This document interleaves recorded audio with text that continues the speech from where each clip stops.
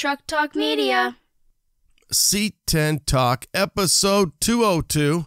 Talk about a damn son. Josh Shilling, Pro 10, race truck, raced it off the side of the road. Yeah, damn son. He's going to fix it. He wants to build more trucks. Here we go. Let's find out what happened. And, you know, obviously the regret side of it is because there's a passenger, right? Like if it was just me, it would be totally different.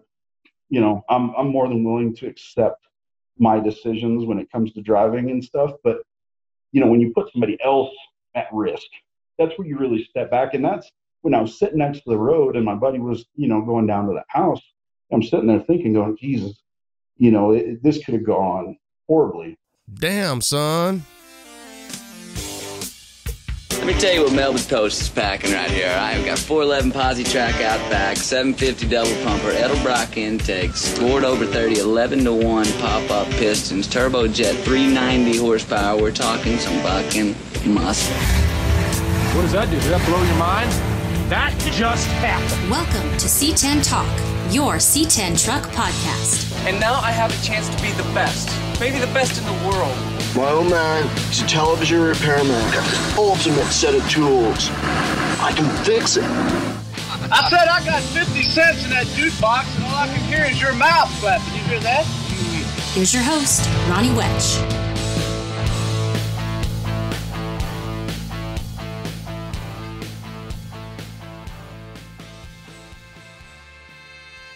What's up? What's up? Taco Tuesday coming at you. Post Thanksgiving, post shopping craziness, and, uh, you know, bringing you more pod. Here we go. December 1st. What a way to start out the month. I think I've got maybe two more here for you for December and then kicking it off into 2021. Looking forward to the new year. Well, right around the corner, you're going to have some Christmas activities. And before we get into that fully, check your local listings. You know, Mr. C10 Club himself, John Oro, he's got uh, what he's, you know, Mr. John Oro. He's got his thing going on December 12th and 13th out in Cali. I think they're going to collect on the 12th and then distribute on the 13th. So check uh, your local listings on that one. Uh, Arizona, Brian Val usually does something here. C10 Club Arizona. Brian Ashley, I did see his on the 13th, Tennessee.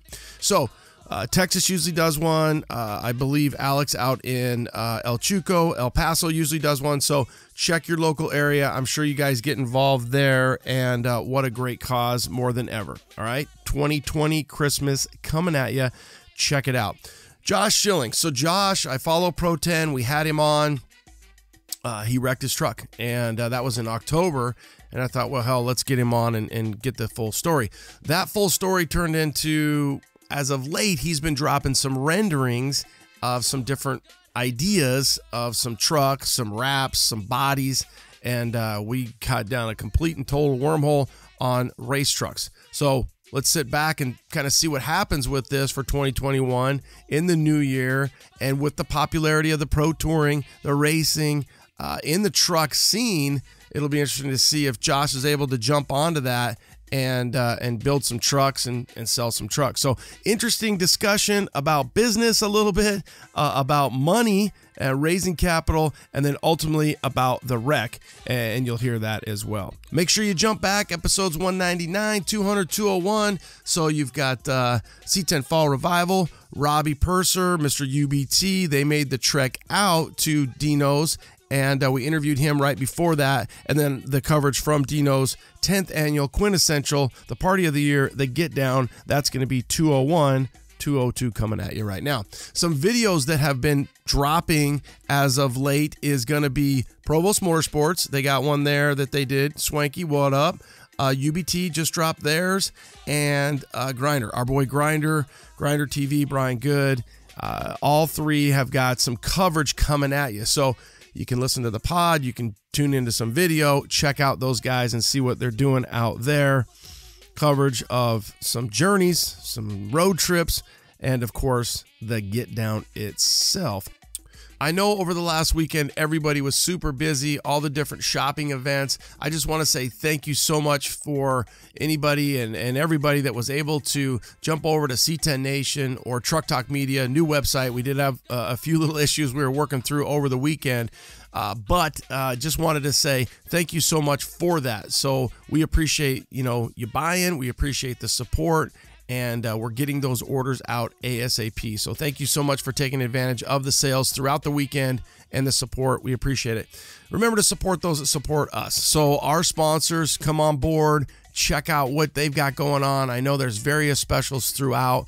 You know, they support us, which helps us bring the pod to you. So check out our sponsors and support those that support you.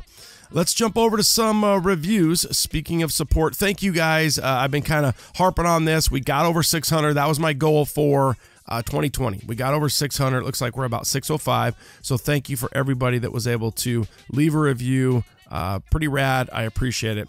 Let's jump into a few real quick. Great podcast, five stars. Love the podcast. Started listening about four months ago, and it has me wanting to finish my 66 step 454 swap. That is from uh, Mark Brown. Mark Brown, thank you. I-, I love that. When people say that the pod motivates them, that's probably that's that's about the highest thing. I love that uh, I get to reach out to different builders, different people, enthusiasts, and that then in turn we're creating a cycle of hey, you know, it's kind of like when you go to a truck show. It's like sometimes I don't like to go when I don't have a vehicle there. It's like all it does is when I'm there, it just makes me want to get home and work on my shit. So if the pod is motivating you one way or the other, then, you know, that's pretty rad. So we appreciate that. Thank you, Mark. If I start, perfect. Thank you. Dylan issue review, five stars.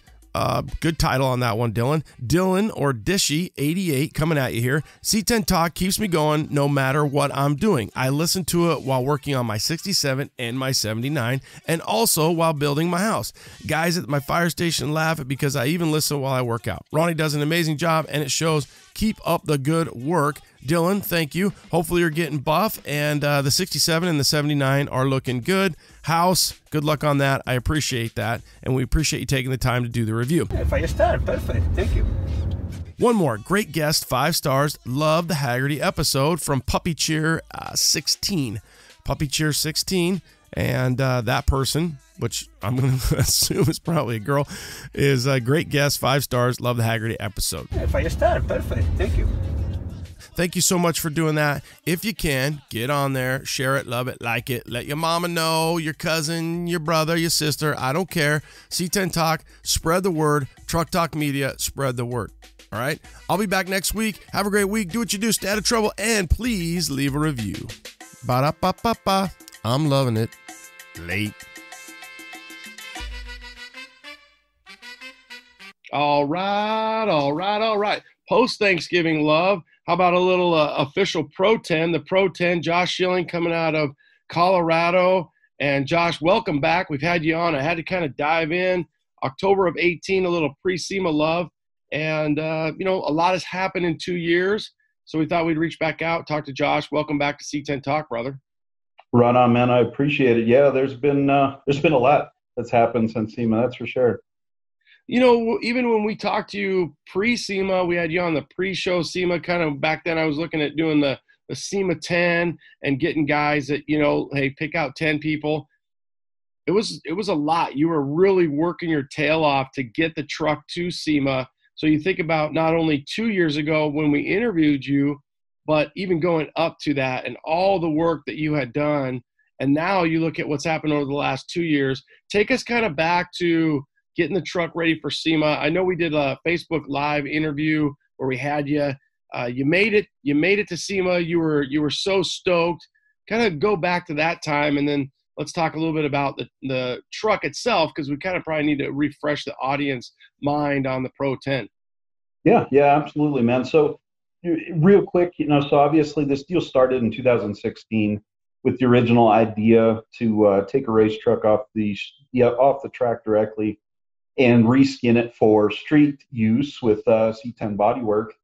And then, you know, fast forward about six months or so, I did that fairly quickly, fairly crudely um, but had a blast with it. Picked up a bunch of attention, and it kind of blew up into a much bigger thing. So I would consider after that rebuild number one, right? So already had it together, was already driving it, and uh, on the way back from a event in, in uh, Tucson, Tucson actually, uh, zip tie drags, ended up dragging the thing through, God, probably 16 hours of snow at least on an open trailer, destroyed it. So fast forward, you know, ends up basically needing to be rebuilt. Any of the bare metal stuff that I had. So it was it was about a two year journey to get to SEMA. It was obviously a thrash at the very end. Um, as you know, you know we're in uh, northern Colorado here, but uh, reached out to my buddy Lucky Costa, Southern California, and he's like, "Oh yeah, man, bring the truck down. We'll get it knocked out, no problem." And uh, my guy that was going to be putting the wrap on was from Ventura anyway, so it just made sense. Um, so I bombed down there about, I guess it was a week before SEMA, and we thrashed, man. I mean, it was a week of hell. You know, it was the truck wasn't where it needed to be yet, of course. You know, so the clip went to Ventura with uh, with Nick with uh, Rocket West, and uh, we took the truck to SEMA. We pulled in there literally last minute. you know, we're out in the parking lot, so it wasn't that that big of a deal. We got set up, um, but literally we were waiting Monday morning to get the front flip because that was all coming from Ventura, you know, and it was wrapped, so on and so forth. So we just kind of had part of a truck there. So once once all that was on, it was a huge, huge relief. You know, at that point, truck's complete. There's a ton of buzz on it. You know, there's a bunch of people looking for it. We were in a great spot. We were with the treadwear guys, so you know, obviously their scrap Tona car is just a, it's awesome. It's incredible. It's a huge attention grabber, and then having the truck sit right next to it is perfect. They're perfect, you know, complement back and forth.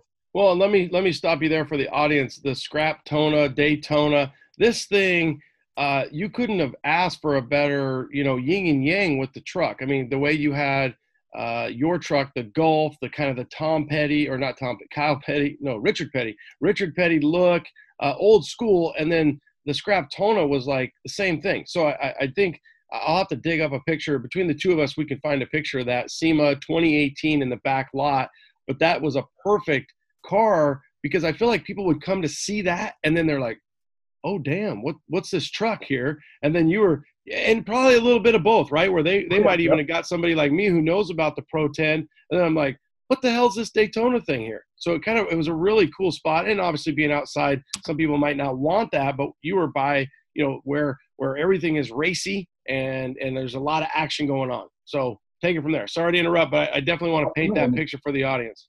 Yeah, for sure, man. Where we were at, we're you know out by the fence by the road. You know, you get all the show traffic plus all the people that don't have passes that just want to come see the stuff that's outside. So, you know, there's a lot of prestige to having a car in, you know, Hot Rod Alley or something along those lines. But at the same time, we got a ton of foot traffic. And it was great. You know, I, I was meeting people from all over the world that have been following this truck build for years now. It was fantastic to get to talk to them. And then doing the interviews, it seemed like, you know, every couple hours I had another interview to do. It was awesome talking to people and finally having the truck together. Now, of course, with SEMA, you know, it's it's kind of smoke and mirrors, duct tape and zip ties. The truck didn't run. I had it completely together before we blew it apart for for powder coat. Ran and drove. Everything was fine. Put it together. Couldn't get it to start. So couldn't do the cruise at the end of the show, but it was cool. You know, I, we we did it. We absolutely crushed it. Got it there. Um, we shot it for street trucks there before we took off brought it back, and then to be honest, man, I pushed it in the corner and didn't look at it for probably four months or so.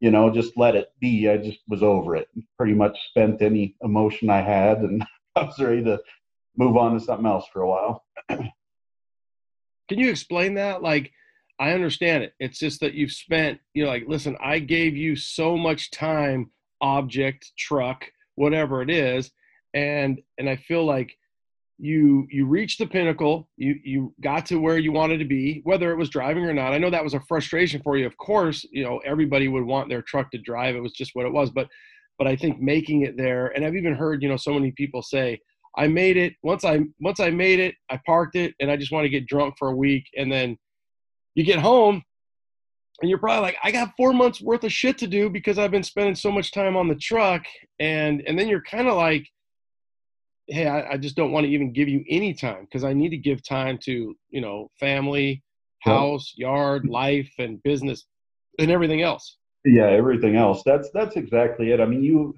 it, the SEMA crunch crunch is a real thing, you know, and I think a lot of that has to do with the fact that you know your own personal stuff doesn't pay the bills. So for a smaller shop, you can't be building your SEMA build throughout the year. You know, you really you can't. I mean, you have to try and do it, but it's hard. So, it, you know, me along with countless other shops are putting the thing together at the very end. So it's you know, stuff is it's not as you would imagine sometimes. You got to cut some corners, so on and so forth. And it feels like you've gotten so far and you've done so much and everything's been, you know, kind of finite details here and there. And then you have to like skip some stuff. So it just, it's weird. It's a weird mental shift that has to happen. You almost have to just go, okay, I need to get it there. And then when I get it back, I'll make it right for me, you know, make it so it looks right, so on and so forth. Um, obviously I would have preferred that it ran at very least so I could start it for people.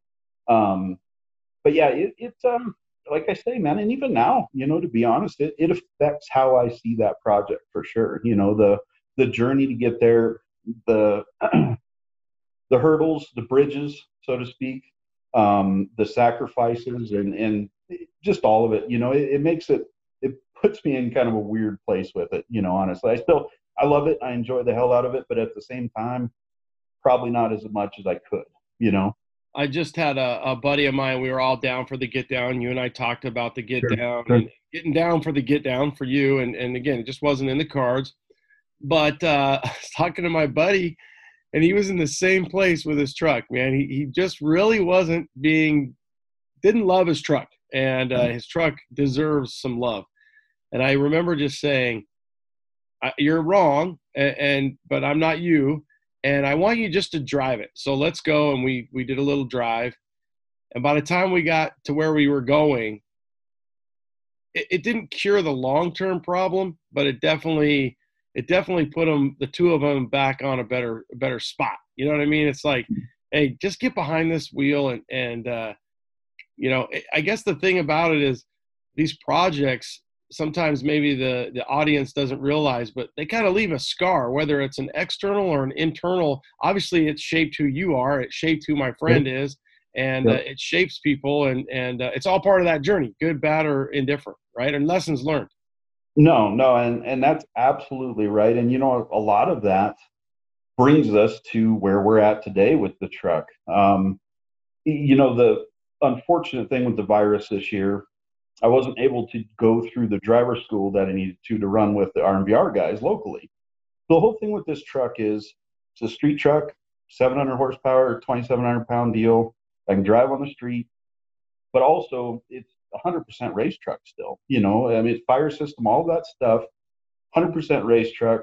So my goal and, and what I want to do with it is go race. That's what I built the thing for. You know, is to go upset guys with much fancier equipment with a pickup. And uh, with that, with the driver school being canceled, I wasn't able to run any of the races this year, so that blew the season out of the water.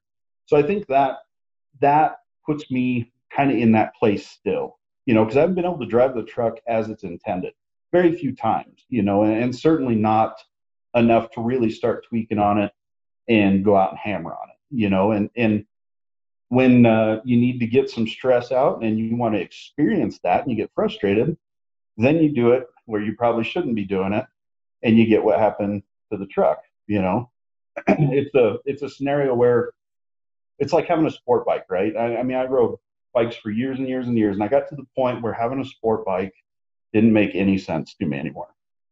You can't use 20%, 10% of the capability of that motorcycle on the street. You just can't. You're just asking to get run over, get tickets, whatever it is. You know, you're taking a, a knife to a, a Play-Doh fight. You know, it's just not very much fun. So, like I say, that ultimately, I think that was kind of where I was at mentally uh, just a couple months back when we had our, our incident. Your, so your quote unquote incident. And for the audience, we're going to talk about the incident here uh, in a little bit. Uh, again, to refresh everybody's memory. This is a this is a NASCAR style dirt track car that Josh retired. You got it, you, you, and then you wrapped it with a truck, right? I mean, it still is, you know, it is a race car that's, you know, in disguise as a C10. And I remember mm-hmm. even talking to you, you're like, hey, it didn't even have to be a C10. It, you know, I almost thought, let's go with something else because I can get something else even cheaper. But eventually you ended up with a C10 and you've got some plans for some other sheet metal wrapping that we're going to talk about as well. But you know that's a that's a powerful beast that just wants to be cut loose. It's a knife, you know, in a Play-Doh fight or whatever uh, your analogy is, and you're really wanting to to let it loose, and you haven't had that opportunity. What about the the pro touring stuff? This last year, we've just been exposed to a lot of it. Obviously, Arnie Pro Touring Truck Shootout. We went out there to Bowling Green. Uh, he's got some stuff planned for uh, 2021 in April. We've got the Bowling Green stuff, or I'm sorry, the uh, Holley stuff. Uh, the Holley was scheduled for the West, and that got canceled this year, so that probably affected you as well. But yes, are sir. you more of an open track guy? Are you more of a over the road, or is would you uh, entertain, or is the truck even built for that type of stuff, that pro touring in and out type stuff? Because some of the trucks we've seen are are pretty crazy that we've been exposed to over the last year. Oh, absolutely. I mean, you you look at the the caliber of trucks anymore, and it's incredible, right? I mean, the and, and speaking to that, you look at the fact that Rob can come out and still, you know, still wipe all their butts, so to speak, you know, a truck that's been around for years and years and years. That's a testament to how good that truck is. But trucks are coming, you know, between uh, Jason and Trent's Blazer, you know, the the guys from Mittler that put that truck together, you know, that's an awesome piece. Uh, it's just it's different, right? It's changing. It's not just you know putting Camaro brakes on the front of your pickup and sporty springs, so on and so forth. It's the real deal now, you know, and um, it's it's cool to see, you know, it, stuff that is is way more on the race side. I think is just going to push the sport that much further. Now that being said, I don't enjoy autocross. I just don't. It's not my thing, man. Um, you know, back in 2005 when I was managing the road course here in Colorado, we were doing that, right? We were like early, early on it. We would do it out in the paddock. And it was always the same New Balance, white New Balance guys with Corvettes and Mustangs and dudes with Miatas. And they'd come out and they would think they're race car drivers, right? Because they go to a racetrack, they're in the parking lot, but they're at a racetrack, right? So they're they're race car drivers then. And it it soured it for me to the point where I just I couldn't get into that type of motorsport. So I went the other way, like as hard as I could. It's like you know, no, if I'm going to be a race car driver, I'm going to get out on the track. Not only that, but I want to be fender to fender with somebody, you know, and that's kind of goes back to the heritage of the truck and and the wrap that's on it. You know, the late '60s and Trans Am, those dudes were wheelmen. I mean, every single one of them that got on that track was just on it. You know, you're talking a half helmet, lap belt and just you know piss and vinegar and and just ripping. That's the kind of racing I enjoy. You know, not dangerous or out of hand, but actually racing each other. You know, not not just time. So it's encouraging to me to see the pro touring shootout and as popular as it's gotten it's great it's great for the scene it's great for the truck world i just love to see some more road course stuff incorporated you know, yeah, I think, and I think they're going to try to do that. It all comes, uh, it probably comes down to real estate and, and rental sure. of the road course. But but I get it. I've sat in the uh, in the trucks. It's very fun. It's a roller coaster. It's an e-ticket ride.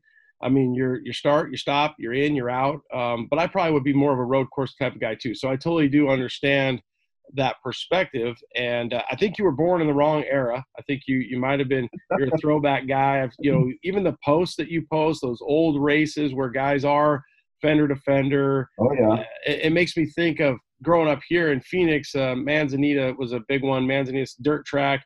You know these midgets, and these guys are just running nonstop. So. So you, you, you got to know who you are, right? I mean, that's part of it, knowing who you are, whether you, you like something or not. And, uh, I just feel like you're probably that point where you're like, I've got to cut this freaking truck loose, man. I I I'm feeling it, and the longer I go, it's gonna, uh, you know, I'm, I'm I should be loving it, and I'm not loving it, and I want to just let this freaking thing sail, man. I want to send it. Yeah, and it seems like every you know every turn where we're going to make that happen, there's a holdup, right? So you know, like the the situation with not being able to get my license, and then um, just one thing after another. You know, I, I have I've done a couple of half mile events with it, standing half mile, and that's a blast because it's it's so easy. You know, there's nothing to it. Just going and having fun and just running the running the piss out of the truck and talking to the people. I mean, you're sitting next to a you know 200 mile an hour GTR next to a 220 mile an hour Porsche, and there's a crowd around this pickup because it's crusty looking, you know, and people are like, God, this thing sounds amazing. It's awesome out there, and and it's cool to get that crowd and bring them in kind of under the umbrella. It just opens the eyes, right? So it's a fun experience. Um, but as far as driving goes, you know, getting out there and and actually, so say you got a 20 lap race, right? You've got 20 times in each turn on that track to get it right or wrong. There isn't going to be a perfect time, probably that whole race where the apex is in front of you, where you don't have a car in front of you, behind you, next to you, where you can hit that turn perfect. So each turn changes, right? So you have to, it's the way I look at autocross is basically you're 100% just driving yourself, right? So it's just you against the cones, which is cool. It's still a challenge. But I like the fact that there could be like, you know, a car in front of me, a car next to me, and we're both, you know, 115 coming into a turn, and we're going to figure out who's got the biggest stones and who's going to get through the turn first, right? That's that's the stuff that gets me going. You know, and especially a truck like this that works really well, but it's a handful, man. I mean, that you know, stock car is a stock car. You look at them on a road course, they're not hooked up like a formula car or something. They they move around a lot. And that's the fun part. You know, you you drive it out of the turn off the back tire and you slide into the, the turn most of the time and you may or may not have room. It's it's just it's different. That's definitely if I could see, you know, the perfect event in my mind truck wise, it would have something like that. But I understand the other side where dudes don't want to bang their stuff up. You know, I get I don't want to either. I mean the they don't make sheet metal for my truck. So as I've, you know, I've proven here recently, when something like that happens, it's a fairly big deal because I can't just go, you know, LMC it or something because they don't exist otherwise, other than on this truck, you know. Yeah. Now, do you would you say would you say going to a race, going to an event, and being surrounded by, like you said, a GTR, a Porsche, whatever different cars, and then people coming up to the truck, is that if you looked over the last three years, the the start of the truck when you got the you know when you salvaged this car this nascar circle track car when you got it when you look back what's your favorite part we, obviously there's been some negative some some ups and some downs what's your favorite part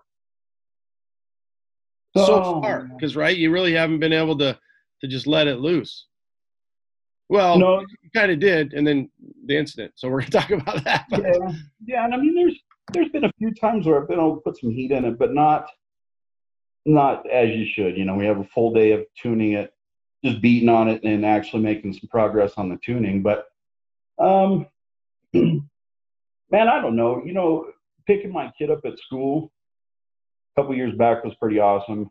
You know, I mean, that's something that there's there's teachers at the school that know the truck. There's kids at the school that know the truck. You know, so sitting out there at the end of uh, end of school was a pretty cool experience. Um, going going to SEMA was a big one, just because I got a chance to meet so many of the people I've talked to over the years, you know, and actually eh, get a chance to talk to people and and share what I had done, you know, and and that was that was a pretty big one, I would say. I mean, the that's probably the biggest at this point was that experience, you know, most enjoyable, anyways. Isn't it funny how um, I, I, was Dr. Phil for Halloween, just so when we get therapeutic here, I've got a little background. But isn't it funny how, and and and funny, not necessarily ha ha, but it's it's also could be close to your lowest point with the truck. How how getting it there, spending four months, your life four months uh, away from, let's say, you know, said kid to go to school. And so so it's it's funny how the yin goes with the yang you know and, and, that pendulum swings to where it's like man this thing is like it's it's a thorn in my side. I gave it four months. I got there. It didn't run. But that was the best time. And now when I get home, I don't even want to look at you. it's such a it's so it's such a psyche. It's it's your quintessential love hate relationship. I mean, in in all forms of the the phrase. I mean, it really is. It's it, once I get in it and I drive it somewhere, and you know, I get to experience even just cruising around and just wherever I stop talking to the people because there's always a crowd that comes and checks it out, you know, which is cool. Um, or I'll see it posted. You know, there's all these different car spotters groups on Facebook, and all of a sudden it'll pop up here, it'll pop up there. I'll be on the highway. You know, people lose their minds seeing this thing driving down the highway, and then I, I, I kind of I have to like look back and go, yeah, man, that you know, six months in, I wanted something that was a race car that basically I cheated the system. You know, straight off the track on the street. It's skimmed like it should be a, a production vehicle I cheated the system, and here I am bombing down the highway. It's that same feeling, you know. It's it's like you're you're getting away with something. You know what I mean? Like you said, the quintessential love hate, and uh, and having that swing from one side to the other, and working through that, you know, and going to the shop, and just realizing that hey, there's been some really good days. And when you post stuff, that's got to make you feel really good, especially like some of the stuff you've been posting lately. I know when I first was exposed to you, there was no you know crazy wrap it was like a white and black kind of like hey we're not sure what we're going to do with this truck yet. So you built an eye grabber. What you're doing is probably catching even more attention than ever. Uh, i assume with the popularity of the the pro touring stuff the autocross stuff the road course stuff that as people want to get into that they're going to be reaching out to somebody who has built you know one of the baddest trucks out there uh, you got to feel good about that. I do, man, and you know we'll we'll chat about it here in a, a couple of minutes, but that leads into wanting to grow this sport even more and taking it to that next level. Yeah, I could see that where people are gonna want to get you know get a hold of you. When you look at the pro touring stuff, again, I hate to beat this dead horse, but the autocross and the road course, is that something that you would say? hey, I, I really just enjoy the road course so much more. But to do that, I got to go through this. I'll do this to get to that and make a presence. I mean, jumping into your future plans, let's just go for it. I mean, you know, I've been seeing some crazy renderings. I've been seeing some F100, some D100, and really the Pro 10 itself. You've been really playing with us. Whoever's doing that, if it's you, uh, you know, it's fun to play with that and see it. Uh, just to just because the imagination goes goes wild and really even just the other trucks that you've created. Hey guys, one of the biggest upgrades I was able to make on Orange Slice is my lighting. Think about this. You've got your old school sealed yellow lights. You put in new United Pacific headlights, boom, quadruple the lightage. They look better, they perform better, and guess what? They're safer. So you've got LED options, you've got new headlight options. They look great. And honestly, we upgrade so many things with our trucks. Why not upgrade the lighting? When you do, think United Pacific. Here's the best part you get to save 15% off all C10 products by using code C10Talk15. Save 15% off all C10 products by using code C10Talk15 go to upcarparts.com. That's right, upcarparts.com. I don't think you'll forget it. Save today. Thanks, guys. Give them a follow on social media too Facebook and Instagram. Hey guys, I've got Bobby from PSI, PSI Conversion on the phone looking at LS LT based motor swaps. Bobby, why should we choose PSI Conversion? Ronnie, our harnesses are made right here at home in the U.S. Our product lineup includes the early 90s Gen 2 LT motors, Gen 3, Gen 4 LS Vortec motors, and Gen 5 LT and LT4 packages. We have transmissions ranging from automatic 4, 6, 8 speeds, and soon to be released our new 10 speed, in addition to all the manual options out there. Wow, you guys cover everything. How do you deal with intimidation factor when a customer is doing their first LS or LT swap? Great question, Ronnie. But the thing is, there's nothing that we haven't seen here in the LS and LT world. If you grab almost any motor out of a junkyard, you want to Frankenstein to build together or even supercharge it. Leave it to our sales team to help guide you along the way to the products that you need for your restoration. We have over 10 years of experience in the market. a tech department that is available to help troubleshoot and diagnose any issues or questions that you have along the way while installing your PSI products. Couple that with a staff that is going to be standing by our products with pride, made right here in the U.S. to a GM quality standard. Our team is happy to get you wired up and fired up. And don't forget, guys, use code C10Talk and you'll save 5% off your order. PSIconversion.com. PSIconversion.com. You want to save 5%? Use code C10Talk at checkout. Thanks, Bobby. You know, it's fun to play with that and see it uh, just to just because the imagination goes goes wild and really even just the other trucks that you've created.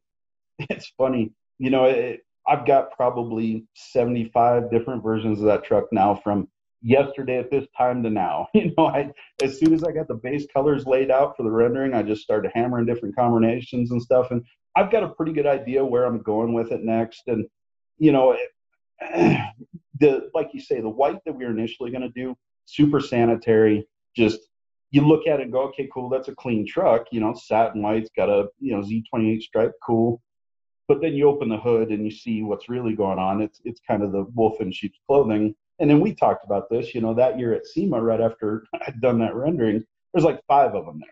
You know, and the white noise truck, that was the first year it was there, was a huge success. So I was like, man, I'm gonna. It doesn't matter now. I'm gonna. Co- I'll be copying these guys no matter what. So I went the complete opposite way. It's like, all right, well, I'm gonna take Ford colors. People predominantly think Gulf is Ford. It's not. Gulf, but you know, it's a conversation piece, but I don't want it to look pretty. I want it to look beat to hell, you know, and it, it fit the part. It, it looks even more so now. It's pretty true to form as being beat up, but this this whole idea of basically taking a race chassis and skinning it with your F100, your bump side, your swept line Dodge, or a C10 has led me to wanting to basically create that for the public, right? So think factory five type scenario.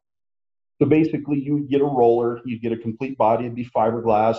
All three trucks would have, as much as possible, it's going to be a common chassis, right? So there's a lot of engineering that's going to have to go into this to make sure the cage is going to work in each one and what changes have to be made. But ideally, balance, front suspension, rear suspension, everything's the same. All the geometry, everything else, it's just got different bodies, right? So nobody's going to have advantage on weight distribution, so on and so forth. You know, you're talking 110 inch wheelbase, say like, you know, 80 inch tire to tire on the outside and 50 50 weight distribution. Basically, you get the kit and it's it's like a factory five. You got a plumb firewire paint, all that stuff, put your drivetrain in it and then go out and hammer on it. The reason I see this as um, a necessity at this point in the scene is because the guys that are building these pro touring trucks that have hundreds of thousands of dollars in them, they don't want to go road race, right? That's they don't want to do that because they have a chance of somebody else running into it, going off the track, hitting something, higher speed, so on and so forth. So I get it. Where I see a hole in the industry is the guy that can go, okay, you know, I can put this thing together in my garage and I can go road course it. I can drive it on the street if I want and I can autocross it. and You can do all of it with it. And you're not talking hundreds of thousands of dollars to build it. You know, I mean, ideally, it, the dream would be to have a class for it, right? With like SVRA or uh, Trans Am even because it's basically the chassis that we're going to be doing are Trans Am chassis, um, just with truck bodies on them. That would be my dream. I mean, to, to you know turn it on on you know Sunday afternoon and see a truck race like that, I think people would, would lose their minds. You know, especially if they're all vintage. But to be able to get that in the hands of the average guy that you know, like I say, doesn't have hundreds of thousands of dollars to spend, but he wants to be able to do all of the stuff. And ultimately, I think I can deliver them a package that'll you know, will dominate those expensive trucks for much less money and they'll have kind of infinite possibilities for, you know, paint, the body panels all be replaceable. You know, it's it's basically a, a kit race car that you can drive on the street, you know. So if you do this, you'll I assume you'll make a package. Uh, hey, here's your recipe, right? Here's your here's your the menu. Okay, you can pick from these four trucks. Here's your chassis. Here's your your coilover setup. Here's your motor. You know, because because Ford guys, if they're going to wrap it with a bump side, they're probably going to want a Coyote. They're probably not going to want an LS. Dodge is just going to have to figure it out. I don't know if they're going to get a Hemi or not, but uh, a Elephant. I don't know what they'll figure out. But but uh, I assume that there'll be a, a menu and uh, hey, here's the generic chassis. We'll build this, or you'll get these options, or you can just put your own, you know, motor drivetrain in, and that'll save you the money as well. And some guy may put a big ass, you know, like I said, a Elephant or something like that in, where somebody might just put a, you know, a 6.0 LS, sure. maybe LS3, and go to town. Is is so? Where is this? Just kind of a, uh, you know, is this something that you're just just like you said back in the day? This is something that you know is was a bar napkin. You know, is this something where it's just kind of uh, an idea at this point, uh, or is this something where hey, the, these wheels are in motion? No, so we're we're working on it, and it's something that I've thrown out a couple times over the last couple years, and and hadn't really been in a spot to really dive into it and give it the attention it deserves because it's a big deal, you know. And unfortunately, um, being in Colorado, we're kind of in the void of motorsports where we're at, right? So the middle of the country sucks. Let's be honest. It's it's kind of a, a spot where um, you know we got to go to east the East Coast for a chassis builder, and it like you were saying, it would basically be kind of like an a la carte thing. That's how a company like Port City or Howe does it. So say you go to Howe and say, all right, I don't want a Trans Am car. They say, okay, well, here's all the spec parts that you get. You either get this motor, this motor, so on and so forth. I don't know that I necessarily want to get into the motor side because everything that you add, you got to put your dollar on it, right? Because you got to touch it. And that just brings the dollar value up. You know, I don't want to get to a point where I'm selling like finished trucks because then we are, you know, on that top tier of the price because the the type of fit and finish and stuff that I want to do, you know. Um, yeah, I would think that you would almost want both because there's going to be some people who would spend the money, right? Some people might want to order the a la carte, they want the kit, and uh, you know, I want the pro truck kit. I can get it for forty six thousand bucks. I get all this sent to my house, yeah, or I go pick it up in Boulder, Colorado. Or some guys like, here's a blank check. I want, I want it all. I want the way yep. you would build it, uh, you know, from what you've learned with the Pro 10, three years of dealing with, you know, headaches and so on and so forth. What motor, what this, what that, what, the, you know, so on and so forth. I mean, uh, you know, we, we look at Jimmy's truck. I'm sure you, you know, went through it with the fine tooth comb. Obviously, okay, I got exposed to it. Uh, that's a, and, and I don't think Jimmy really told me how much he's got in that truck, but I'm thinking there's got to be 200 plus thousand in that truck, maybe even okay. 250. Uh, I'm sure at the beginning with with Rob McGregor, I mean, if you the problem with with with Hellboy, which is for the audience, Rob McGregor, no limit engineering. The problem with with that is how do you ever really put a value on Rob's hourly base knowledge of what he puts into Hellboy? You know what I mean? I mean, I'm gonna say that that's probably like a three hundred and fifty dollar an hour uh, labor just for his sure. you know his experience that he's putting into Hellboy. So who knows what the price tag of Hellboy would be? But I like what you're saying. It's like, hey, factory five, you know, you can get this truck, we can build it. Here's the kit. You want you want a swept line, you want a bump side, or you want a you know second gen C10 or a square body or whatever it might be. Yep. Yeah, that's you know how I see that going. You know, obviously I want to be busy enough where I'm just managing kits. You know, getting the kits out the door, developing new stuff, and just focused on that. But I would like to have, you know, uh, say a shop like No Limit that gets one of these kits, puts it together. You know, it's similar to like the Factory Five stuff. You know, they have four or five shops that they work with real closely that basically build their poster cars out of their kits for them.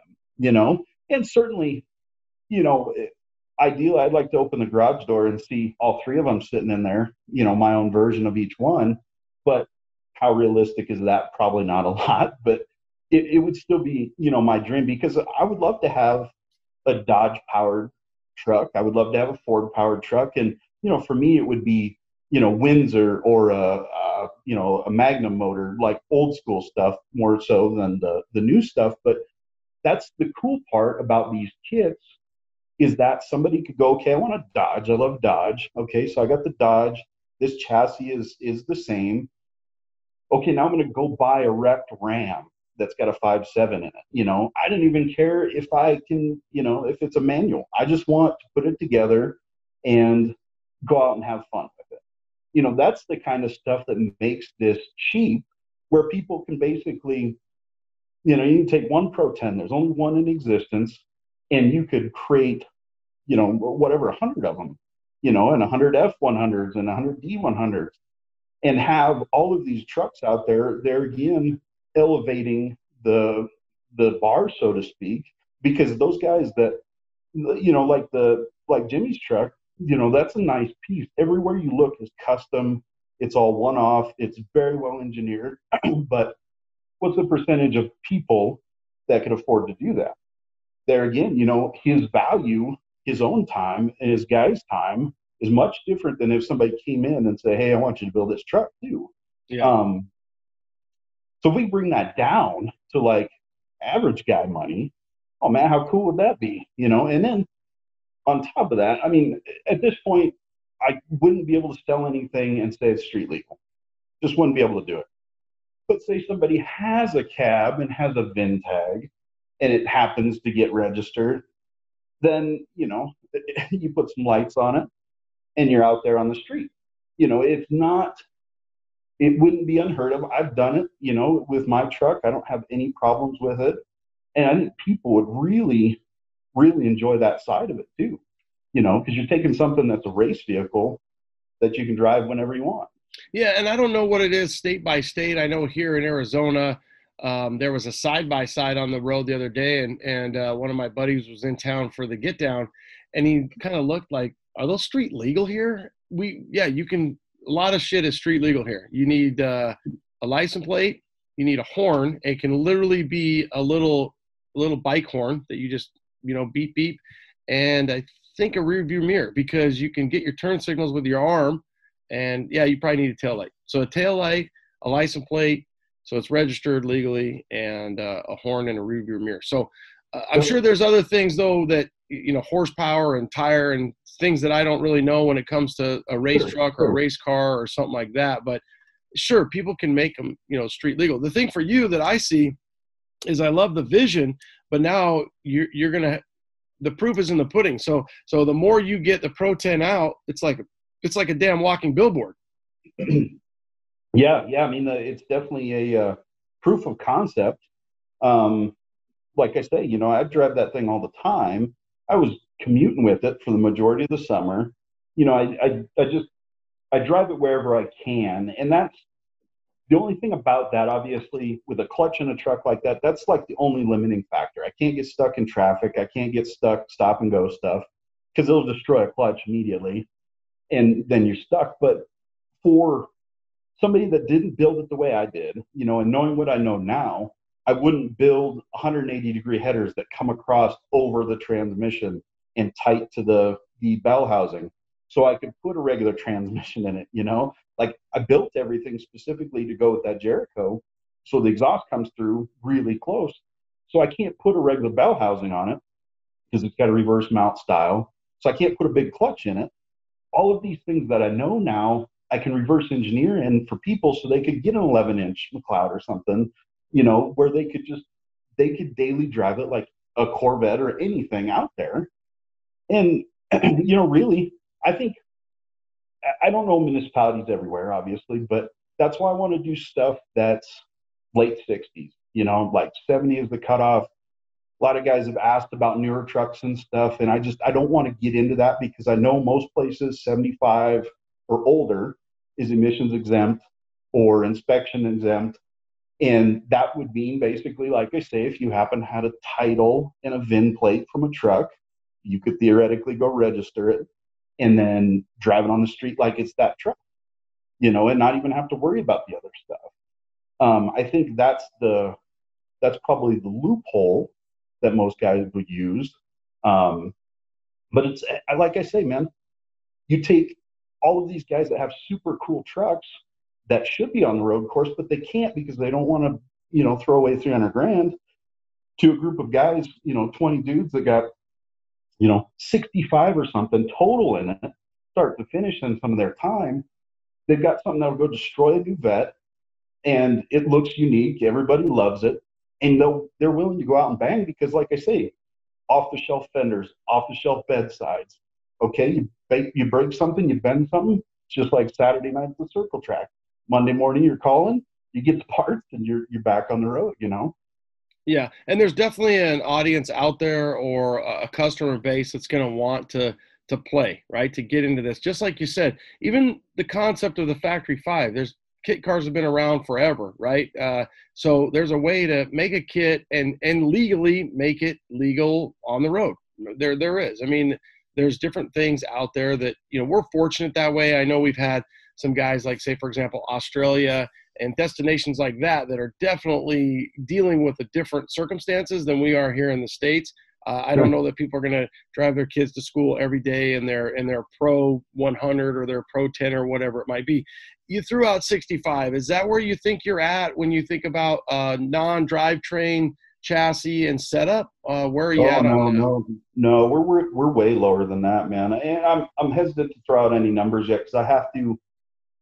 You know, there's going to be a very expensive upfront cost here because I've got the C10 stuff, obviously, bodywork figured out. Mm-hmm. I know how it has to go, but I'd have to do a Ford. Now, there's Ford fiberglass bodies available. That's great, but there isn't any Dodge stuff. I mean, there isn't Dodge stuff, period. You know, it's just the way it is for Dodge guys. So I'd have to take sheet metal and modify it, make it work. So there's a lot of cost up front to it, but I think the kits are going to be similar to like a factory five kit, you know, and it's going to be kind of plug and play where that's your roller. You know, basically you got your chassis, um, your suspension's all set up, you get your brakes, um, hubs. It would be maybe wheels, maybe not, because people are going to want to. They might want to run wide fives, they might not. There's all kinds of options there, but it'll be a roller in raw fiberglass. Anybody that's worked with race car stuff knows that raw fiberglass means you've got a lot of work to do not rocket surgery. You got to, you know, you got some hand tools and some time and some long sleeve shirts, you're good to go, right? So it would be basically a raw form type of deal that would show up with, uh, you know, instructions. Once you get to here, you do this, do this, do this. Um, you know, and obviously I'd want to do as much education as possible, get that stuff out there. But the price point is going to be much, much cheaper than that. like I say, if if at all possible, you know, around that probably 35 range with really good parts. You know, stuff that is dynamite. I mean, for less than you can go buy a half ton pickup for, you got something that's, you know, a legit race vehicle that is 100% unique, that guaranteed nobody else is going to have one in town. Um, and it's, it's, I think it's going to be successful if I can keep those numbers where they need. So for 35, and I know I'm not holding you to it by any means, and let's just even say, I'm, I'm just going to say, because if it's 35 in my mind, I'm going to spend at least 50, right? I've, I've watched every HGTV show where the guy's like, oh my God, I can't believe we have to spend another $20,000. I mean, that's just the way it goes, right? right. So, so what, what do they get? They get a chassis, and, and we're just kind of spitballing this, right? So they get a chassis, a rolling chassis, frame rails, uh, control arms, everything coil over. Uh, that's going to have to have a cage built into it, or they're going to have to, you know, cage by numbers, and because shipping is going to be a huge part. Then you're gonna they're you're gonna want them to have a cab, or they're gonna create a cab, or you're gonna create a cab because that's well, no, like the, the way cab I, is where I it all starts. Yeah, yeah. So I see it going where basically the transporter shows up and you can steering's hooked up there's a seat already mounted in it. Um, obviously, you know, stuff like harnesses, um, you know, finished goods, all the other stuff like the cake decorating stuff, no. But you look at the truck, it's got a rear end in it. Um, the way most rollers come is they've just got the housing, they don't have the center section in them, um, unless you do a quick change, which obviously would be more expensive, but then it would be complete. Um, so you have that, no driveline, um, coilovers. You would have a fuel cell but no hoses or anything. You know, no plumbing. So you're saying no third member. Everybody's, you know, you're getting a you're getting a rear pumpkin. You're just no third member. You can get a quick change or whatever you want. Yeah, yeah, yeah, Okay. Really, because yeah, so, I think that you know everybody's going to want different stuff, so they can go get it on their own. They can source a third member. Uh, you could, you know, sell it through you. Obviously, yeah, they know. This yeah. is what me and my buddy Sam do. Like every week, we come up with all these great ideas. So we're just chatting it up, and the audience just happens to be tuned in. So, so they're going to get their all this is there, and then they can order off the menu through you, or hey, here's one of our preferred third member vendors. Uh, here's Don. Hardy if you want the right, you know, this motor. Here, you know, this guy sells. You know, does coilovers come with it or no? So they would. There would be a standard package, right? So your standard pack, your value meal, so to speak. You pull Ooh, up. Nice. Here we you're go. out the window. now, keep in mind the value meal is still going to be awesome stuff, but it's going to be the stuff that's standard, right? So coilovers um, would probably be probably RagTech, um, non-adjustables, but valved correctly for the truck, knowing the weights that it's going to be. Um, because there's going to be guys that don't want to mess with that, right? There's going to be guys that don't want to have, you know, multi-way adjustable front control arms. So they'll be, you know, basically um, uh, like a, a, traditional control arm setup where it's a A arm, but there's no adjustment in it. It's just at the plate itself where it mounts. And then the guys that want to go to the next step will get like an SPC or something that are adjustable along the ways too. Um, but you know, good spindles, all of that stuff is race car stuff. So nothing OE. But yeah, it would basically be, you know, wheels in, so you'd have your brakes, um, your calipers there again, your um, value meal stuff would be picked out. So that'd be like, you know, whatever Wilwood, let's say, comes with Wilwood stuff, masters, no plumbing. That's going to be consistent with everything. So fuel system, brake system, all that stuff. A guy'd have to make his own hard lines and stuff. Um, the little stuff like that that's tedious and time consuming as a manufacturer to do, I can save a guys a bunch of money that just want to do it on their own at home. You know, it's it's like I say, it's not rocket surgery. All of us have done brake lines where we we flared it and we didn't have the the nut on, you know, so we had to cut it off and do it again. But it's part of learning and doing this thing. But you would get um we would do Lexan, obviously, front and rear, no side glass or anything. Um, doors, cab, everything assembled. Um, I'd still want the doors to function just like my truck does.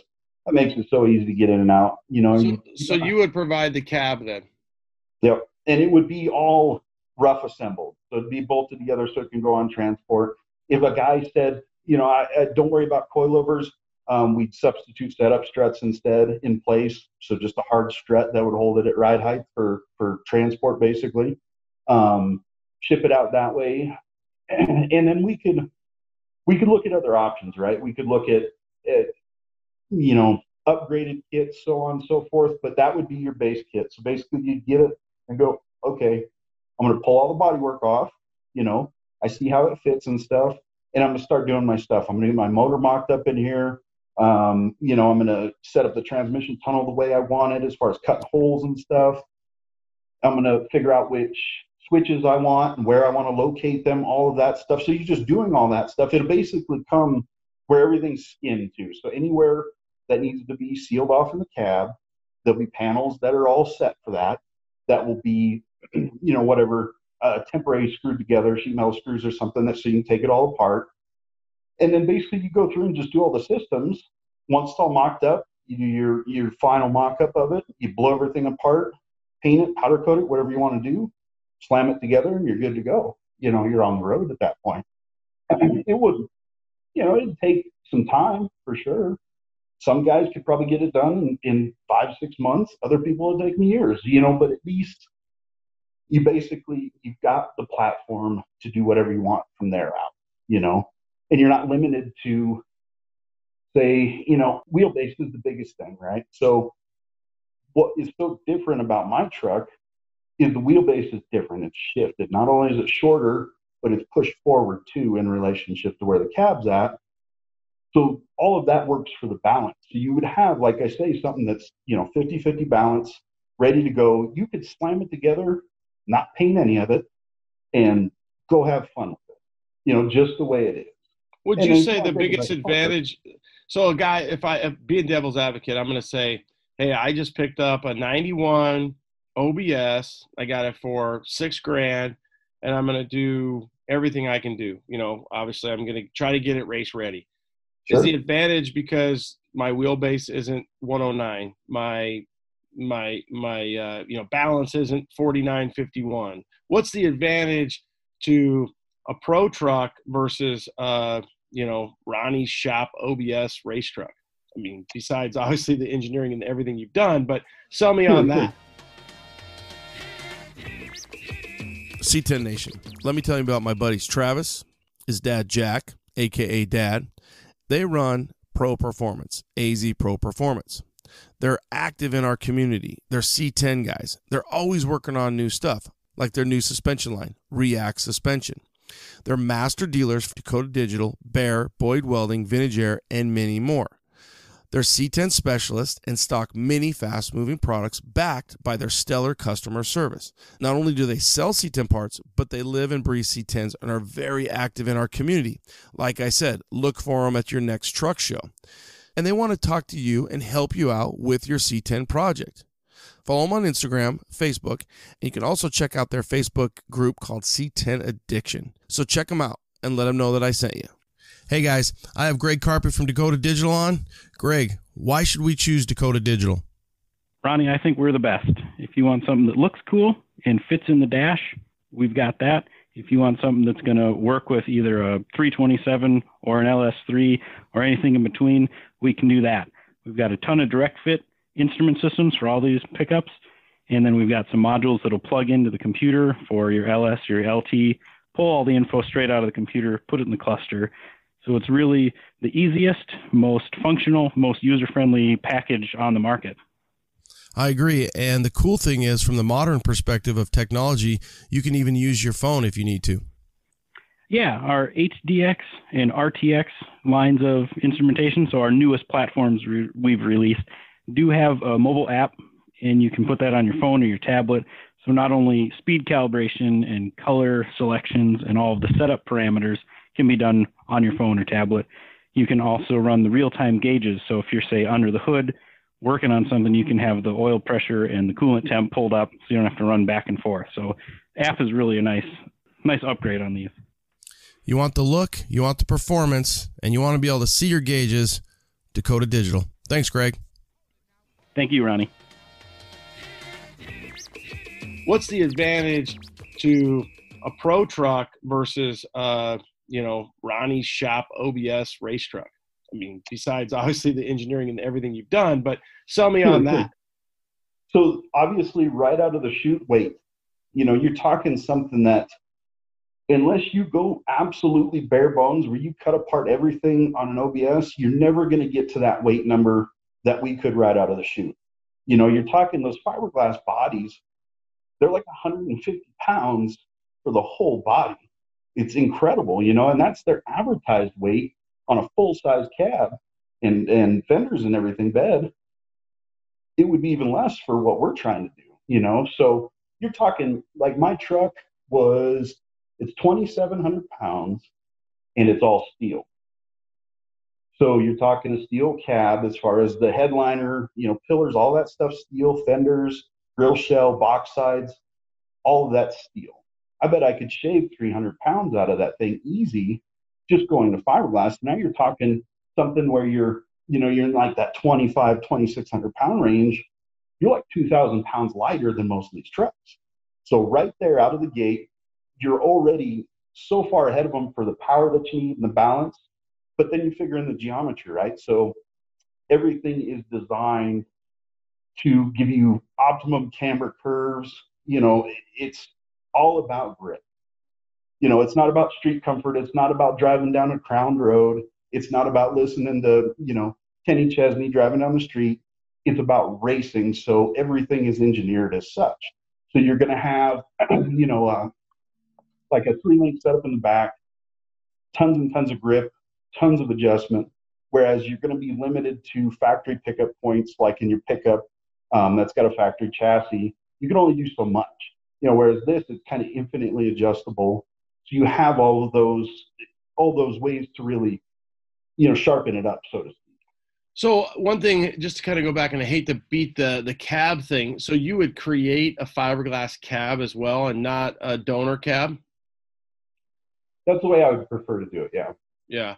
You know, I, the other thing, Factory Five, I remember my buddy did one. He still has it. It's a Cobra kit car, Factory Five. And I think the key, again, this has probably been about 15 years ago when he did it, uh, eh, maybe 10, but uh, the key was having a donor car. So for the for the Cobra, it was having a Mustang. So I remember him finding a '96 Mustang. That got him the brakes. That got him the spindles. That got him.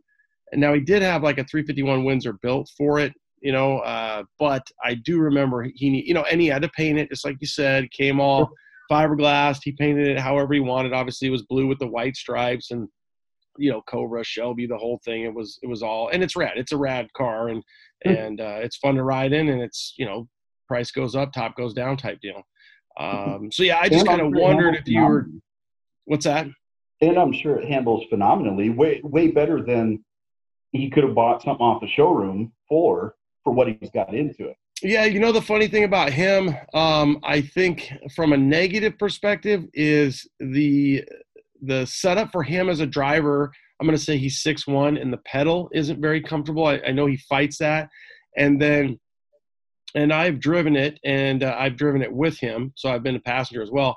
It's more than he can handle from a power perspective. So I feel sure. like because it's so light, he he's almost afraid of it. Really, he hardly ever drives it. And uh, I'm like, you need to sell this thing and let somebody else have some fun with it. You, it's been sitting. I, I, I would say in 10 years, he has 500 miles on it, if that. Sure, sure. So, so so that would be the key. Yet maybe he just thought he wanted a Cobra car to go cruising with Mama. And these guys are, you know, said audience, said pro truck, you know, driver owners they're wanting a race truck that weighs you know 800 pounds or whatever it comes out to to be uh, fiberglass bodied C10, D100, F100, and uh, you know, boogity boogity boogity, let's go racing.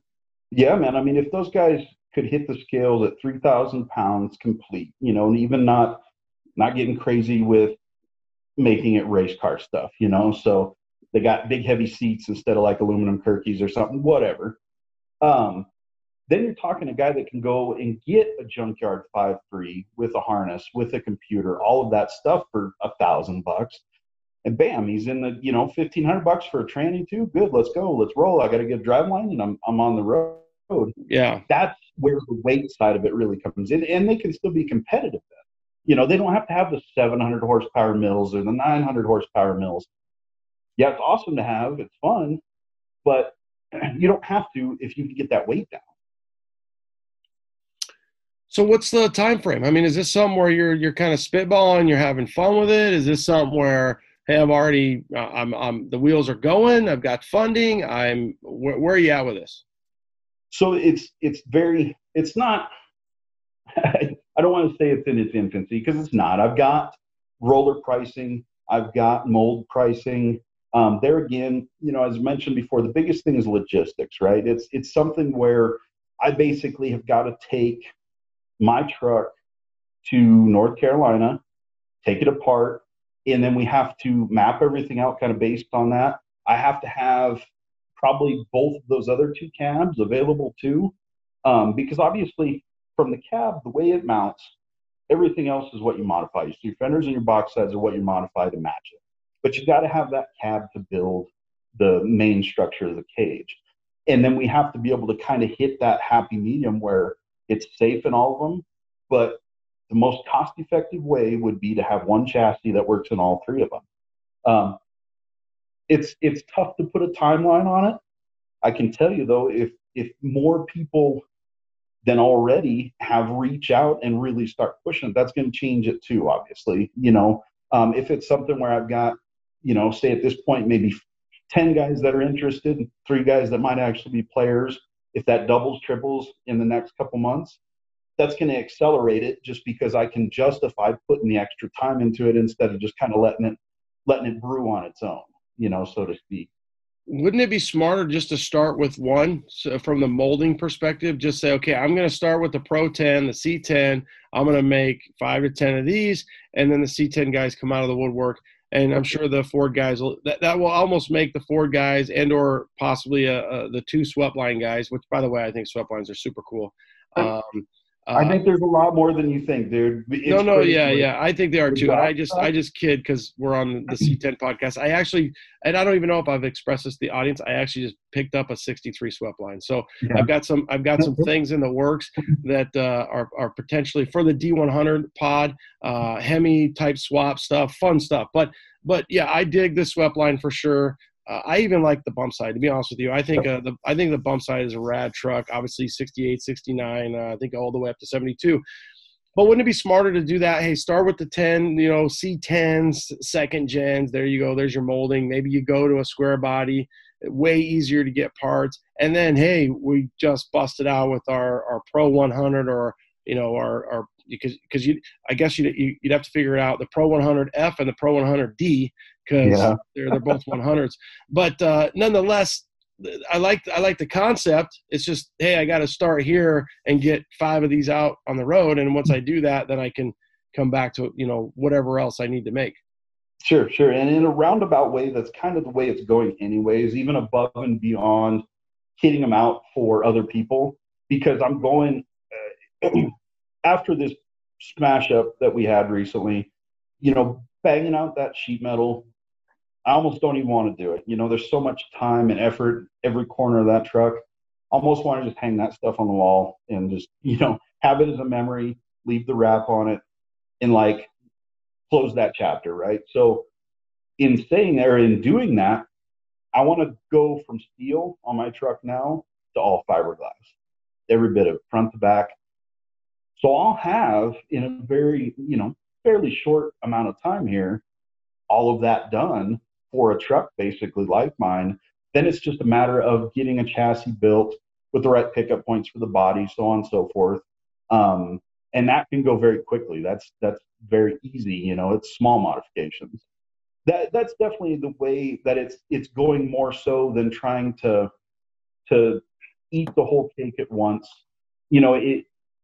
I hate the idea of working on a chassis design and then having to change it because it'll fit the other ones. But at the same time, if there is enough interest just on the C10 trucks, then obviously why not get the ball rolling with that? Fire will breed fire, right? And and like you say, you know, the F100 guys will go, oh man, that you know, build me one of those. Figure out how to do that. Mhm. You know, and, and and that very well could, like I say, it could expedite those other ones too. Um, but yeah, it's it's definitely moving forward with the C10 side of it. Um, probably sooner than later, you guys will start seeing that too. So what I was going to say, the tooling, once you go with the fiberglass, obviously you could even say, hey, we can go carbon fiber because the tooling is going to be the same. You know, it's just going to be a lot more money. But you Yep. obviously could say, hey, we're going to got we've got the tooling for the fiberglass cab, fenders, hood, you know, bed, whatever, the whole thing, and then hey, we can go. You know, I would almost even again, I'm not a big race guy, but it seems like those trucks just fall apart. Uh, not yours, of course, but the uh, the stock car style trucks and even the cars. Is that a plastic that they use in, in NASCAR? What what is that? Yeah, so I mean, like cup cars are still aluminum. You know, it's actually those guys are still like coach builders, right? But all of the lower series, like you know, Saturday night circle track stuff, asphalt is like plastic, basically. Hmm. You know, the plastic nose, there's plastic sides of the truck. You know, I mean, it's it's just a cover. You know, it has nothing to do with anything legit or anything like that. But the way my truck is, it's the same. It's just steel. You know, it's just skin. Everywhere you look, it's just skin hood's just skin, fenders, so on and so forth. And that it would be the same. So basically, where those panels would be stronger right out of the get go, you know, than say your typical plastic or some of the like the pro trucks will run a um, aluminum side so they get banged up. But if you do crack that up, if you you know you bust it up, those mounts will all be basically removable. So you can pull those mounts out, get a new piece, you know, whatever you got to body work it, put it on, and go and basically have a, a repairable, serviceable part right away. You know? yeah, I, I would think too. You could obviously formulate the chassis and all the mounting points for whatever the Dodge or the Ford or the C10 or the square body or or whatever truck somebody wanted, uh, based upon the demand, uh, without a doubt. So, um, do you get a lot of response before you kind of came up with all these renderings, the Pro 100s, the Dodge and the Ford, and then based upon the history of your truck, have you been uh, contacted or have people reached out and said, "Hey, build me a truck like that"? You know, I've had more people that want to buy that truck specifically. Um, I've had I've had some people ask about building one, and this is kind of where this whole kit idea came from. You know, and I'd be right up front with them and, and tell them, you know, look, you buy this truck, 85 grand. It's yours. You know, you can't build it for that. You got the one of one and it's down the road. But like guys, you know, that's a hard pill to swallow, right? For for the majority of people, especially something that isn't like a GM that you can go get zero percent financing on or something, you know, that's a lot of money. You got to have, you got to either be liquid on that or be able to go loan it something. Wherein, like I say, if you can chomp it up into little bits and pieces, and that was really why this idea started to take hold because I kept telling people, it's like, man, if I can get kits together, you could build it for a lot cheaper than that. You know, you can control how much below that or above that you go, but that is, you know, that's basically something where you could save a bunch of money. And there again, too, if I had to build one for somebody, I'd be starting over, right? Because my chassis is an old chassis. It's not in production. It has nothing to do with the new chassis. So I'd basically be starting over. I got, you know, I know how to do all the bodywork and stuff and how that needs to go. But I would, it would be more expensive for me to build one from the bottom up now than just sell mine, you know, because like I say, it'd be starting over again. So that was that was the majority of the inquiries about the truck. After SEMA, there's a bunch of guys saying that they wanted to buy it, but you know how that goes. You know, it's if the B back bus never stops in my shop, that's for sure. And I don't know that I would sell it. I mean, that was the I had a couple of players that probably buy it, and I pretty much just told them, no, I can't sell this thing. You know, even though I hate it, it's my baby. You know, I, I, I give up so much and sacrifice so much, and my family did, and friends and everybody else to get this thing where it's at like it's kind of invaluable you know? I'd have to i have to charge way more than it's worth you know and, and i'd feel guilty about that too. So kind of one of those things i'll just keep this one and, but let me build you one you know? Let's get this yeah. kit going. What about selling it just to, for capital so you can get the next three to five going and and uh, kind of would be the cool lineage because all the things you've learned you can take that monetary gain somebody else can go tweak it or you can set them set them up to go you know racing. And now hey i've got uh i sold the pro 10 and now i'm i'm i'm making little baby pro 10s you know and and uh you know little by little little by then you'll be the guy who never has a truck anymore because you're so busy working on everybody else's trucks. that would be absolutely 100% what i'd be worried about and it would probably go that way. I would have to just make you know number one that came back out of the process would be mine it just have to be mine um, but that gets tough, right? Because you basically you're selling your dream for everybody else's dream. How do you not? How do you not uh, get in a place where you see that or have some sort of kind of negative vibe about it, right? Like you, you know, the idea of other people enjoying Pro Tens is cool, and that's the motivator. But could I justify selling mine to facilitate their dream. You know what I mean? Um, that would be a tough decision for sure. Yeah, I actually disagree. I think you have to do it. I think it's a smart thing to do. I think when you throw stuff out there on the internet, I love that part because you know you know you're gonna do what you're gonna do. That's almost entertainment, whether it's for them or for you, um, sure. because only you can do you, and you know, and you know what you want. Just like when you wrapped it initially, and you you know you threw people it's like dude it's my truck. When you build one wrap it however you want. You know what i mean? Yeah. but i think i think you have to kind of see the forest from the trees. I'll never forget my wife and i built a house and it was a very big house custom home and we got offered a lot of money for it. I remember her telling me well why would i want to sell this if uh, this is where i want to be and then i have to try to get back here again and I look back at that moment and think, man, we really should have sold it. We didn't. Obviously, the economy went down. We weathered the storm. We got back up, and we ended up selling it anyway. But we sold it to fund the next project. You know, the next sure. house, the next remodel. And sometimes you you look at uh, from the business perspective, you look at that and you think, okay, how is Josh? Now, if Josh has got you know fat pockets and fat wallets and people lining up to to hook you up, I think, well, then that's the way to go. But I think your truck is what it is, and and uh, you, you can always build another one. Maybe it's not the first one, but you can always build another one. And if you think about it, it might be you know uh, bigger and better. Uh, you'll learn from it. I always kind of look at it like every time somebody says, "I wish I would have never sold my first truck," or "I wish I would have never sold that car," or "I wish I would have never sold," I always just think, yeah, because but there was a point where your life's told you to do it. You either needed Yeah. to do it, you're tired of that vehicle, or because something happened, whether that was a house or a baby or whatever. And then 15 years later, you're like, oh yeah, I forgot about all that stuff. I just want my truck back, or I want my BMX bike back, or I want my skateboard back, whatever it was. Sure, sure.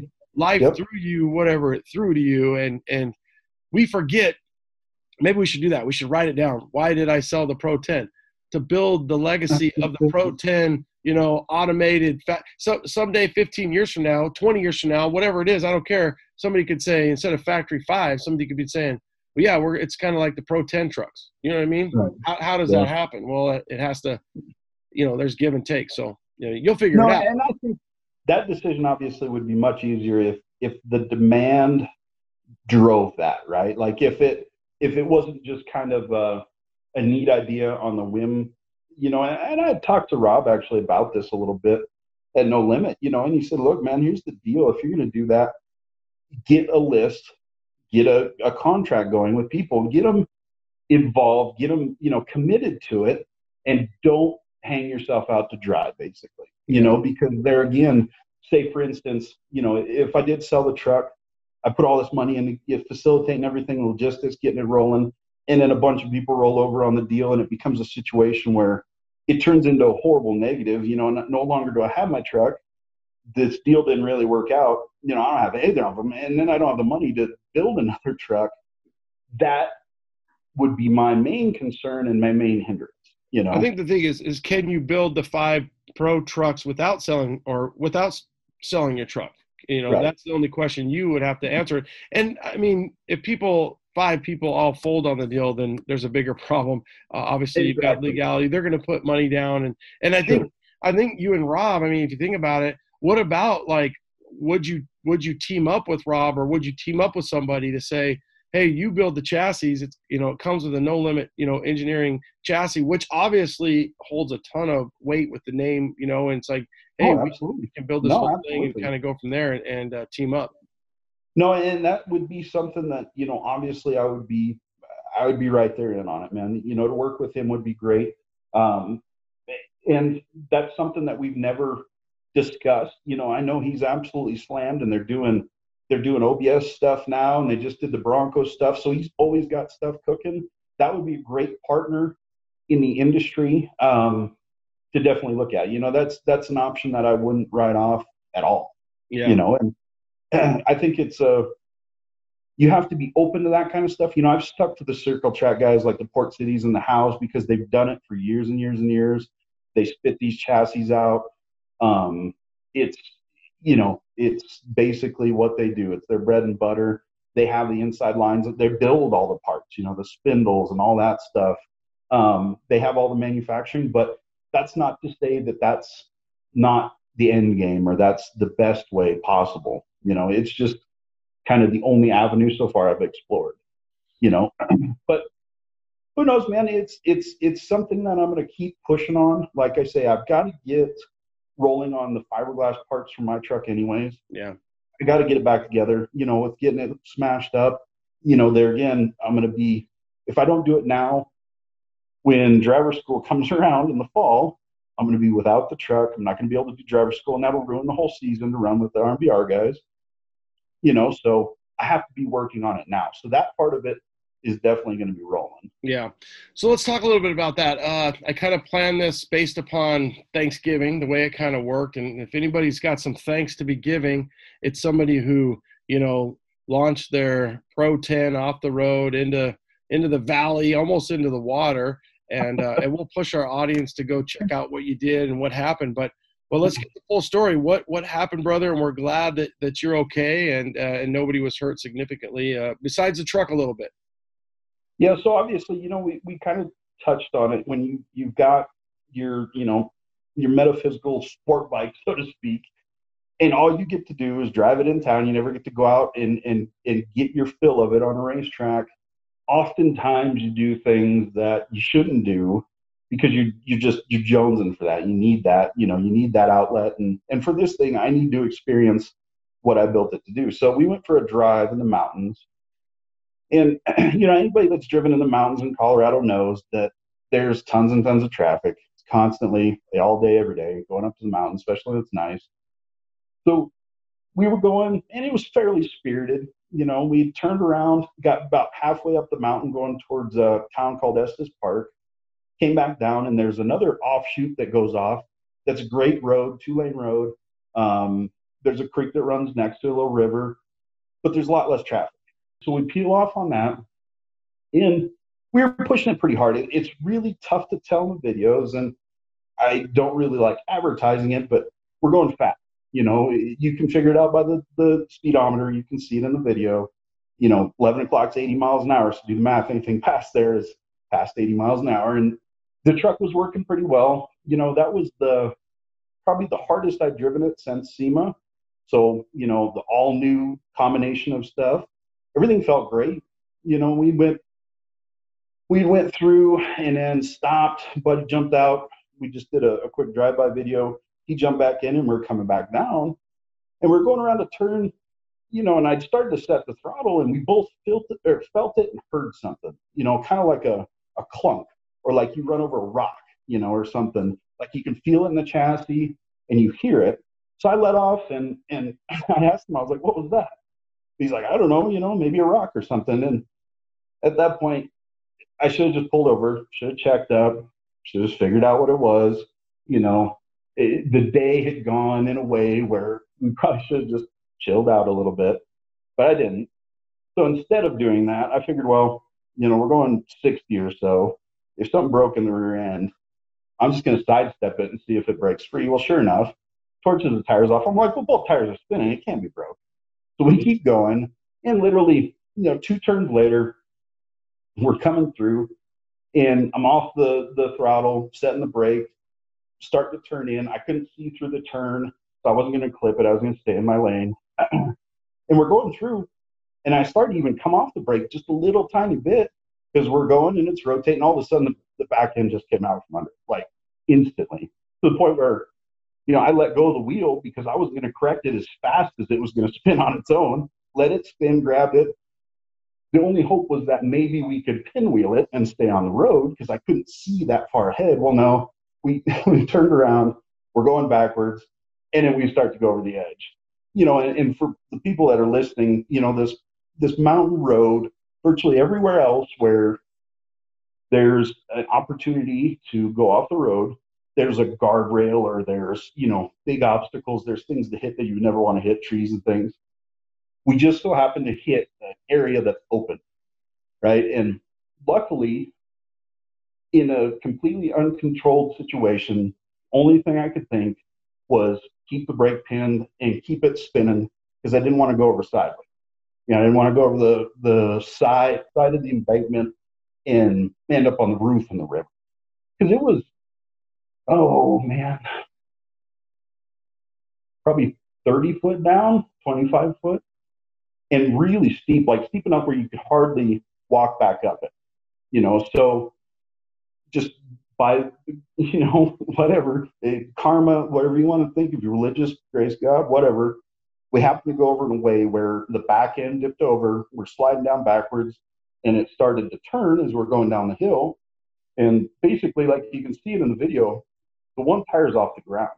The passenger front is, so it's coming down the hill, sliding backwards, and it's rotating to the left with the front end off the ground, basically. It hits at one point, it lands, and then we slide kind of sideways into this huge boulder in the back, huge boulder in the front, and a bunch of other stuff, a bunch of chaos and stuff. Um, and basically come to a stop like two feet before this river down at the bottom of this thing. you know, and at that point, immediately, going back to race car days, you know, shut everything off, make sure that everything's off. Everything, main power, you know, I don't care, shut it all off. Let's go, let's get the hell out. You got to get out of the thing because you have no idea if it's on fire, it's going to be on fire, you're getting out. So we bail out of the thing, and I didn't even notice the door opened So I didn't think nothing about it. Got out, got to the top of the hill. There was a guy on a motorcycle that was following us. My buddy jumped on the back of his motorcycle. I said, "Go call somebody. Go call a tow truck right away, or this thing's getting impounded. I'm going to jail for sure." So he jumps on the back of his bike, goes to the next house, and calls one of our buddies as a rollback. You know, and meanwhile, um, I was just kind of hanging out. And luckily, both of us were fine, absolutely fine. You know, we, if you watch the video where it breaks free is 80 or so, where it starts to turn. So as we're going over the hill, you figure that's still north of 60. Down the embankment, we hit these big rocks and come to a very definite stop. But you know, there again, we get race clip harnesses that were flawless, turkey seat flawless. We're strapped in the way you should be when you're doing stupid stuff like that. So we didn't have nothing scratch, nothing like that. No bruises, no bumps, nothing. It, was incredible. And uh, it was it was a couple hour process. Our buddy with the rollback came up and since this thing, you know, obviously is built to service, we pulled the front clip off. Um, we were able to pull the back tailgate skin off, and we had all that stuff off so we could pull the truck up. But the the driver's side was smashed. The front fender smashed. Um, you know, with all the sheet metal work that's done to it, you got a, a, very modified piece of sheet metal that's just junk at this point. The bottom smashed on both sides. The ripped both the rockers off. Um, smashed the driver's side, bedside, fuel cell. It hit the passenger side, box side, and then grill shell, obviously. And then the biggest part of it is when it was sliding down the hill and it finally stopped, it hit the rock. Um, all of that force went through the Watts link and through the lower rails of the chassis, and it bent the rails over four inches on the bottom.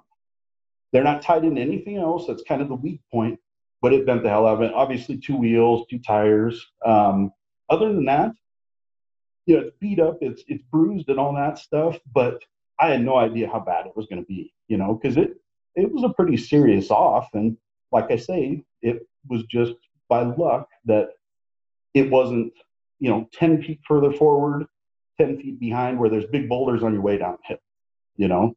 Um, so that's kind of, in a nutshell, where that went. There again, like I say, I, I should have just checked up when we noticed that problem. Um, it's really tough to tell. The locker springs are definitely junk in it.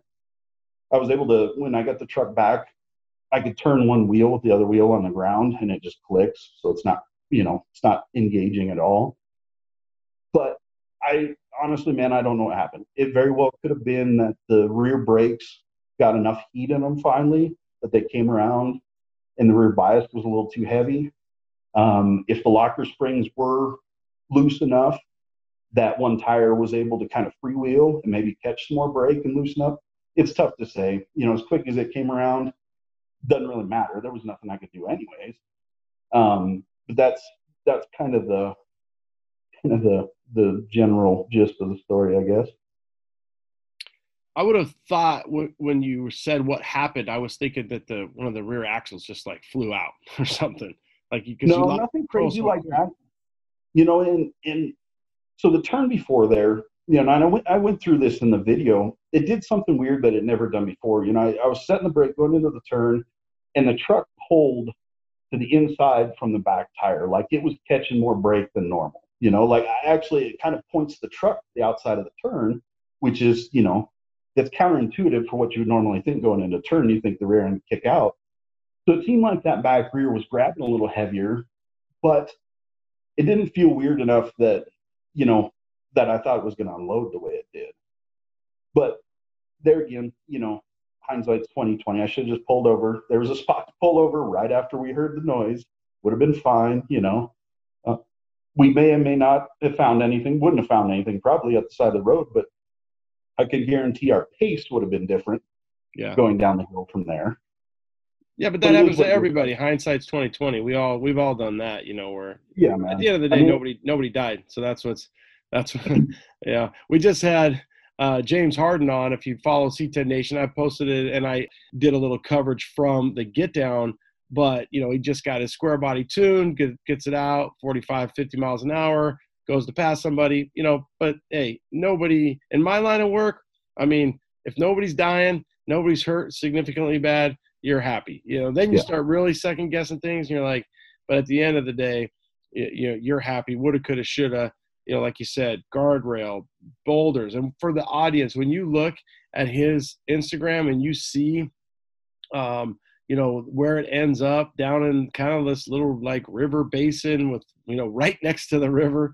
Uh, we're glad that you know the truck, you, and really the truck. I mean, I think it's all stuff that you're gonna you're gonna whip out. And it isn't it funny how going back to that crazy stuff. This is probably more funny, haha.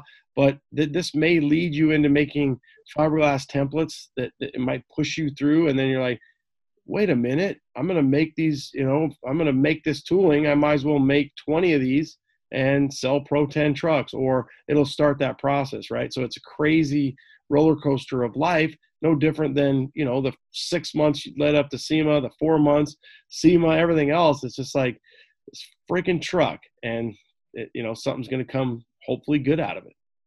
Well, and that's it, man. I mean, it's it's it goes back to a respect thing, man. You got to respect something like that. I mean, you're talking a vehicle that, you know, on its worst day, has got way more capability than 99% of the stuff out there, and you you take that for granted sometimes. You know, it's easy to just you'll be passing somebody, you know, it's 65, 70, you stomp on it, you knock the tires off of it, it's drifting all over the place, and you're driving the hell out of it.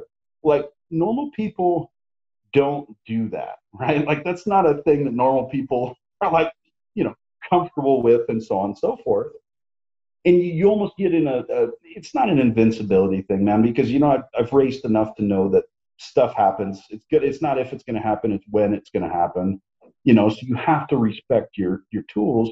And as fast as we were going, you know, at that point, it was too much, you know, no matter what, even if it was a parts failure, you know, when you're talking 125, 130, you know, in the straights, and you're going through turns where you can't really see through them. You know, I'm not super, super familiar with that road. It was just, it was a situation where I'm so frustrated with all the stuff that's going on, you know, the virus stuff and what that means at home and everything else. And, you know, I've got this truck that should be this incredible outlet for stress. And I put too much pressure on it, right? Like I expected too much out of that vehicle for what I needed. You know, I was very selfish. Instead of just going out and enjoying it, I was trying to get something out of it that it couldn't provide for me. You know, so no matter what, like I say, mechanical failure or not, it's probably just luck that something didn't happen anyways. Yeah. You know what I'm saying? Because, like I say, my expectations weren't where they needed to be for that drive, for that vehicle. You know, it's pretty much like, you know, I'm going to go until I get mine, and hopefully you're there with me. You know, the the biggest thing, and you know, obviously the regret side of it is because there's a passenger, right? Like if it was just me, it would be totally different. You know, I'm I'm more than willing to accept my decisions when it comes to driving and stuff, but you know, when you put somebody else at risk, you know, that's that's where you really step back. And that's when I was sitting next to the road and my buddy was, you know, going down to the house. I'm sitting there thinking, going, Jesus, you know, it, this could have gone horribly. You know, I'm sitting on the other side of the road. You can't see anything. You can't see the river. You can't see the truck. You can't see anything because it's so far down there off the side of the road. All you see are rubber marks and like where it went over. Most people would come up on that and, and expect to see, you know, just absolute bedlam down below, pieces and bodies and all kinds of stuff, you know. So all that stuff runs through your head, and that would be the biggest takeaway for anybody out there. You know, that's like that Gabe Franco dude. He's out there, he's having fun, he's doing his thing, but at the same time, too, man, like you gotta, you know, you're on public roads. Anything can happen.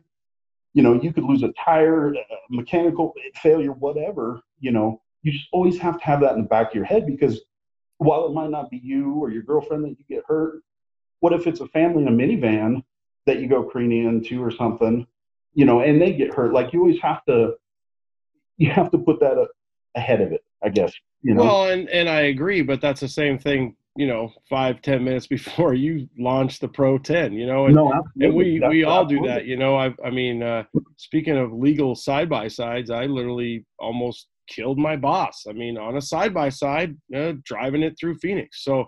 Uh, yeah, I sold the side by side after that. I'll, I'll, I'll tell you that right now. No, no, for sure, man. And like I say, that's if anybody can do a, you know, have a positive takeaway from my, you know, fifteen, twenty thousand dollar mistake, then let it be that. You know, Yeah. at least click in the back of your head to go, you know, hey man, this is a very well prepped truck. This is a truck that gets nut and bolted virtually every time it's driven. I know every inch of this thing, front to back, and it's still it still can bite you if you let it. You know, you still have to respect it. That's that's the biggest thing. the hardest part with that is uh, the older we get, the wiser we are, and we try to share that information and knowledge. I've got an 18 year old that lives under my house and my roof, and boy, oh boy, I could tell him a thousand times certain situations, and whether we tell Gabe, we tell the next guy down the road. You know, boy, it's just uh, got to learn it the hard way. You know, how Oh, many no, no, times does it get? Yeah, that's just it. You know, it's it's.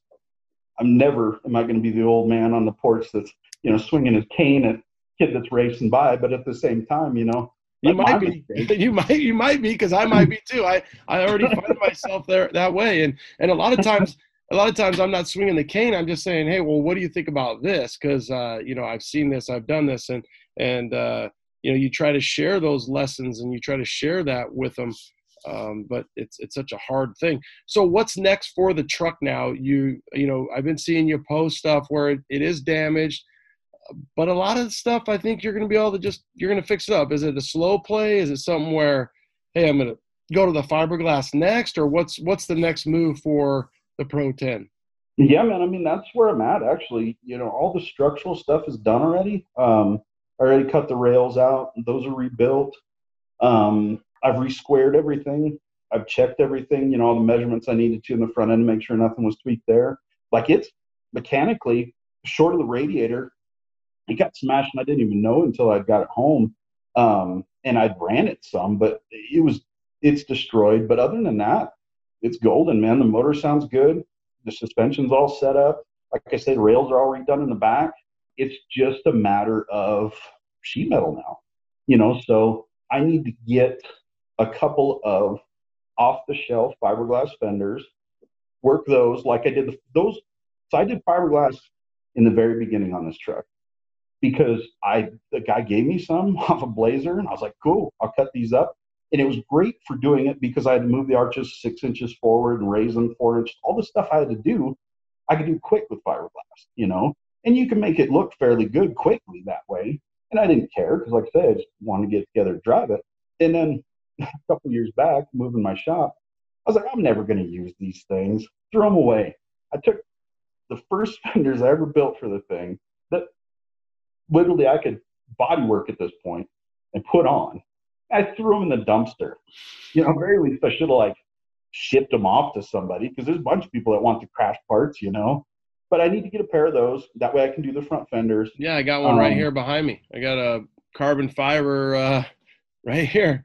Yeah, yeah. that's uh that's from uh, Provost's Blazer, and they crashed it at SEMA doing those that donut, and they put it into the uh, into the Connex box barrier.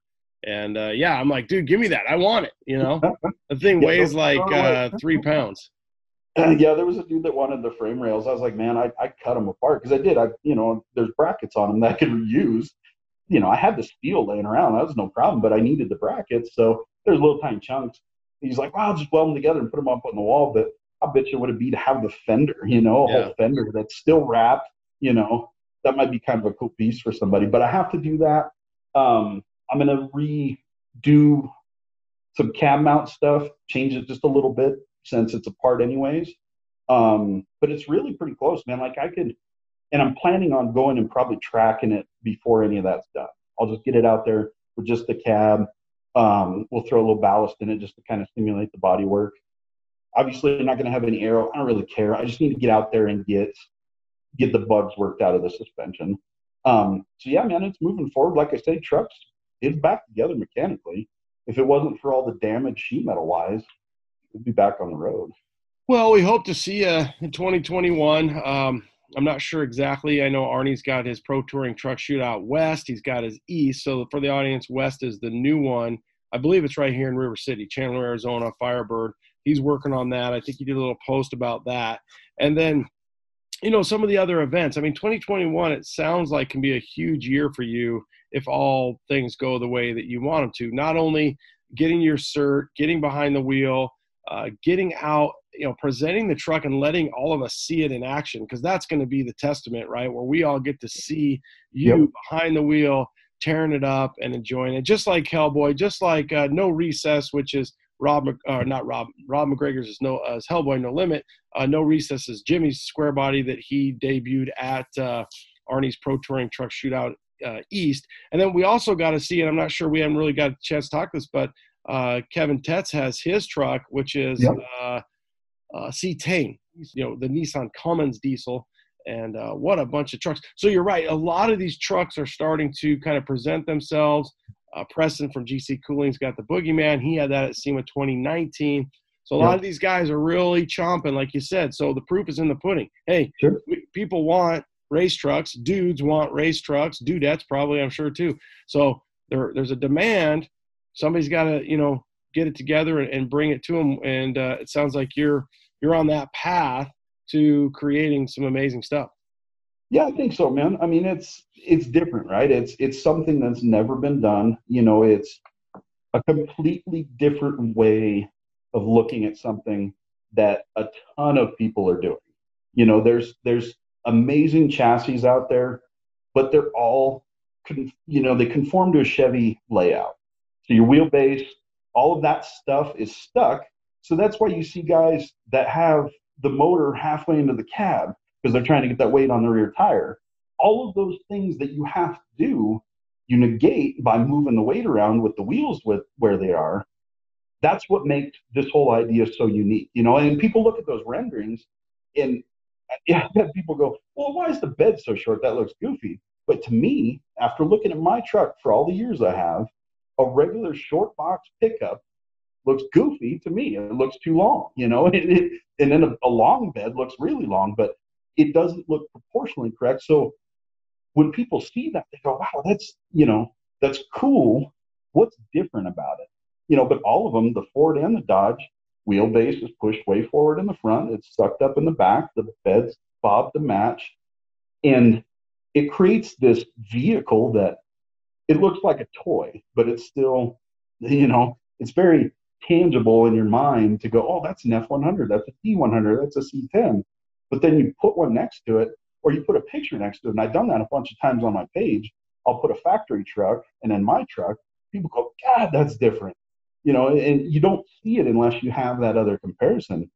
But all of that is because of the way it's engineered, the handling, the balance, all that goes into being a race vehicle comes first before aesthetics.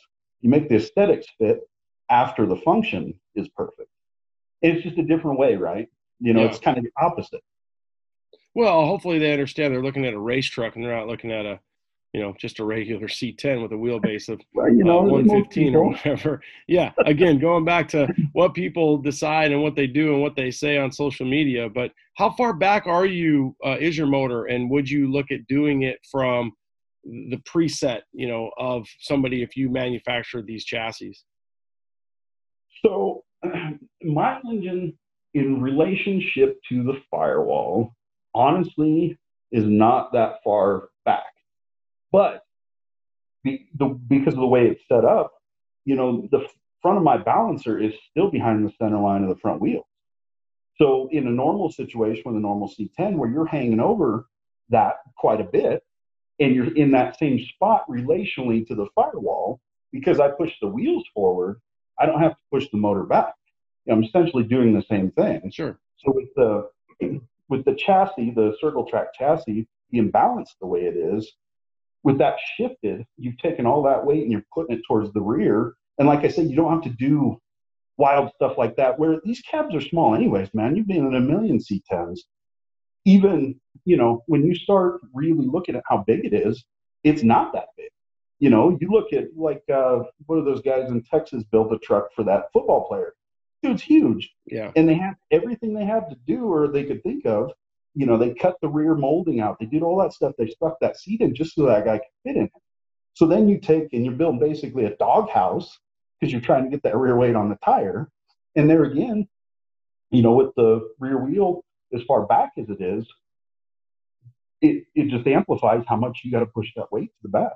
You don't have to do any of that with that. Like I say with mine, I'd have to look, but I bet it's pretty close to the same spot as far as relationally to the firewall as a stock truck because you move the front so far forward, the front, uh, you know, essentially cross member, so that the yep. wheels are as well. So good. Well, good. We, uh, we, I can't wait to watch this happen. So, so from you know the audience and when this starts to unfold to see what happens in 2021, what do you envision for like the rollout? Like, is this something where, hey, audience, just you know, follow Josh on Facebook, follow official Pro 10 on Instagram, social media, and then you know, little by little uh, you get the you know the first couple out and you know they're showing up to races and we'll see kind of how this evolves you know what i mean?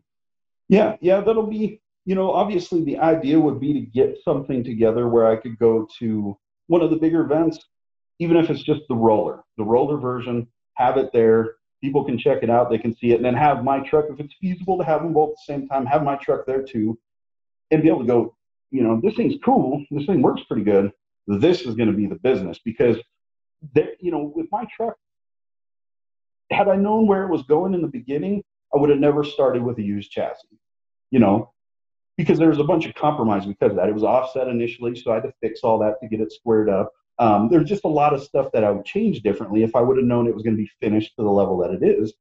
So with the new truck, like I can do all that from the beginning.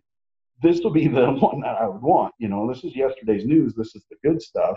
Um, people are going to have to probably kind of get behind it based off of what this truck does, you know, what they know it can do. And there again, you know, the history of whoever the chassis builder is before a bunch of them are out there. You know, that's the thing I think that that is going to hinder like a big rollout or, you know, having some big, um, you know, ribbon breaking deal. I would say yeah, man, if if at all possible, it should be cool to have one at SEMA this year. You know, assuming that we get to do it, um, it'd be really cool to to have it there. Even just the roller, if that's the only point that it's at, um, that would be a, a goal for sure. But yeah, you know, uh, the Pro 10 on Facebook. I shut down my personal profile. I, you know, social media at this point, I'm not the biggest fan of. Um, but I do have a bunch of great people that follow along with the truck on Facebook. Um, so there's the page there, and then official Pro 10 on Instagram, and then official Pro 10 on YouTube as well. Um, so there's I got a ton of stuff to load from putting the truck together, back together, I should say, and then a bunch of video and pictures and stuff from when I built it the first time. So there'll be kind of a process for people that are just now seeing it to kind of come along with that ride. You know, no, I'm always posting throwback pictures too because there's people constantly that have never seen that stuff, have no idea where that truck came from. Mm-hmm.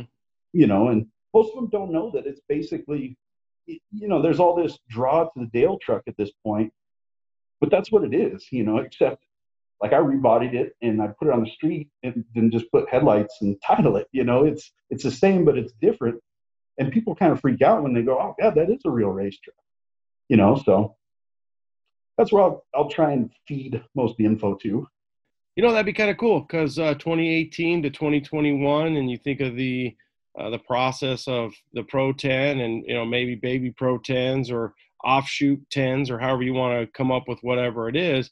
Uh, you get that to SEMA 2021, and I do think we'll have SEMA 2021. I'm very hopeful.